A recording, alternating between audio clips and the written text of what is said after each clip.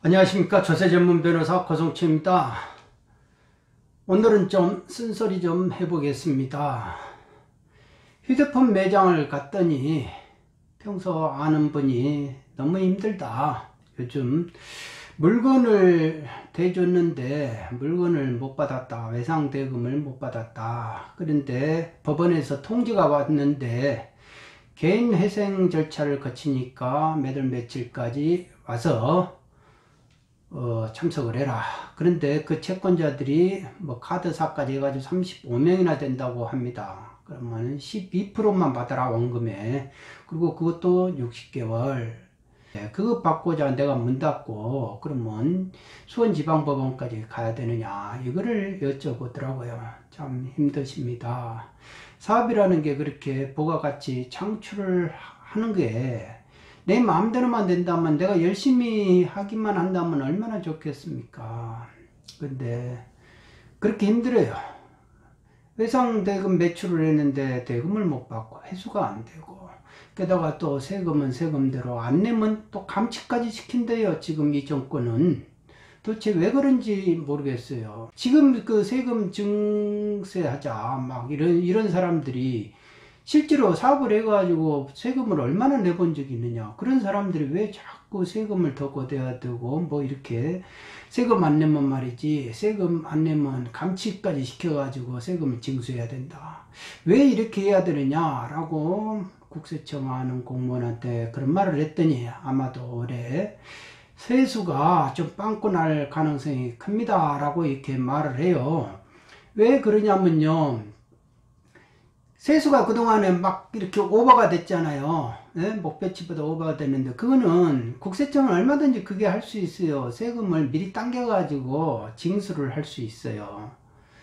그렇기 때문에 세수가 오버가 됐는데, 그런데 이제는 그게 아무리 당겼어도 세수가 이제 목표치에 뭐, 뭐 충족을 못할 것 같다. 못 거둘 것 같다. 보고가 됐을 거 아닙니까? 제가 볼 때는 만일 그렇다면 보고가 당연히 되죠. 그러면 어떻게 해야 됩니까? 오, 근거에 지금 돈이 빚이 생겼어요. 그러면 어떻게 됩니까? 근거에 돈을 빚게끔 생겼으니까 돈을 채워내야 될 거 아닙니까? 채워내는 방법이 뭐가 있어요? 그러면 사업을 해가지고 경제가 잘 돌아가지고 법인세가 잘 들어오는 것도 아니잖아요, 지금. 경제가 다 지금 서로가 폭망한다, 폭망한다, 왜 이렇게 힘드냐라고 하는데 세금이 잘 들어오겠습니까, 저절로? 그러면 쥐어 짜야 되잖아요. 쥐어 짜는 방법이 뭐가 있습니까?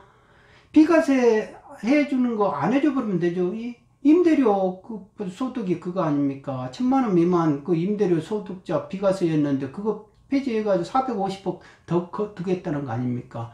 그리고 지금은 1세대 1주택 9억 이상 그 감면 기준 그것도 낮춰버리겠다는 거 아니겠습니까? 음? 이런 식으로 비과세 철폐하고 감면 평소 감면 해준 거 안 해줘 버리고 이런 식이죠. 그리고 어떻게 됩니까? 세율을 노골적으로는 진짜 나는 진짜 세금을 막, 그 부가세도 10%인데 이거 15% 20%까지 올려버리고 아 소득세도 더 올려버리고 막 이렇게 하고 싶죠. 상속세도 더 올려버리고 증여세도 다 올려 세율을 올려버리고 싶은데 그러면 조세 저항이 일어나가지고 이게 난리가 날 것 같으니까 홍콩같이 몇백만 명이 거리는 나, 나올 것 같으니까 도저히 그렇게는 못하겠고 그러면 어떻게 됩니까? 더 사람이 야가지고 은밀하게 하려면 어떻게 돼요? 과표를 높여버리면 되잖아요. 음? 가표를 높이는 방법으로 해버린다 라는 겁니다.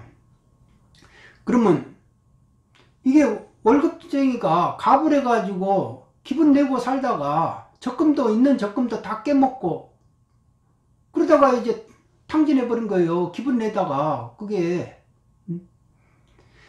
힘없는 사람은 대출이 더 안 돼가지고 힘들고 있는 사람이 있는 사람은 오히려 더 주워 먹기 바쁘고 어정쩡한 사람은 이제 도망가기 바빠가지고 아들아 아들아 이제 어 전세로 바꿔라 집을 언제든지 우리가 나갈 준비를 해야 된다 이런 식으로 돼버리고 18년 동안 종업원 음식점 종업원 하던 사람이 저보고 그래요. 근데 살다 살다 이렇게 힘든 때는 없었다라고 합니다. 현금 복지 참 중요하죠. 밑 빠진 독에다 물 붓다가 언제 그거 채우겠습니까?